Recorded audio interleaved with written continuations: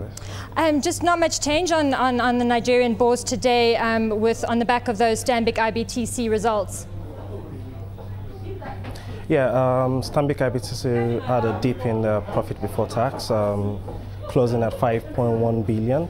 They also had a provision of about 5.9 billion, which um, personally I think was very cautious um, which it showed that Stanbic IBTC all through the year have been cautious in their uh, risk assets creation.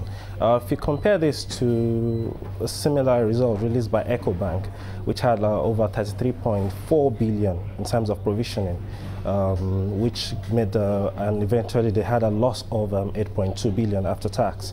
So this is in, in respect to Stanbic IBTC, I believe they have uh, operated cautiously in the, in the Nigerian uh, in the Nigerian market over the year, and um, they have, um, even though their gross earnings have not um, increased by any, uh, even though their gross earnings have actually dipped also, but we've seen that they've been able to manage a flat, flat, flatline business uh, state, which, uh, well, considering the business circumstances, is not is not a very bad um, plan to have. This morning on, our, on, on Street Talk, um, Seckham was speaking to our market watcher, and he highlighted for the first time that uh, Stanbic IBTC would be the perfect bank to be looking for an acquisition. What's your view on this? Uh, well, depending on what the CBN comes out with. Um, we know that Stanbic IBTC and um, and a lot of other foreign banks have been looking at expanding their retail structures in Nigeria. We know that um, EcoBank tried um, just after consolidation to acquire Unity. They had merger talks with First Bank, which all came to a stalemate. But we know that uh, we also know that foreign banks need to grow their retail structures in Nigeria for them to actually maximize what is the what is obtainable in the country. So they will be looking at acquisitions in the tier two banks that have uh, that are having problems. They will also be strategizing on how uh, what banks to pick and what banks will actually give them the most benefit. It is it is it is it is a possible thing. It is um, it will be a strategic um, plus for them if they can get this. But just uh, looking in terms of confidence in the market, how likely is it that uh, Stanbic and First Bank and EcoBank can really recoup um, their bad debt? We've seen the Economic and Financial Crimes Commission has so far recovered 171 billion uh, from the eight banks in question. Um, but what's your view on this?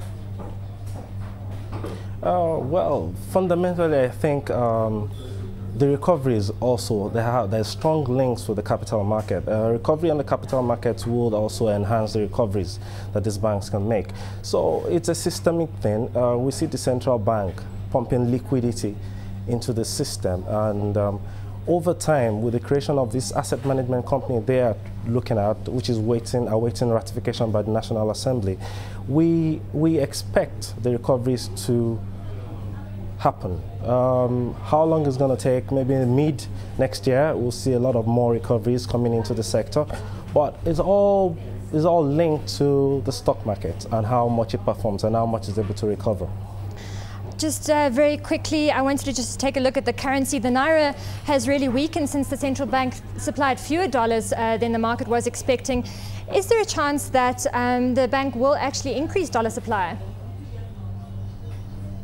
Um, well, presently the CBN has also mandated that, well, they've also made it official that um, the Naira will trade between the bands um, of around 150, uh, 150 Naira to the dollar mark with plus or minus 3%. So uh, even if the CBN will eventually meet the demand of, um, of currency, but they will want to trade within those bands they've already they've set. Uh, based on the demand, we still see that demand is not as high as it used to be.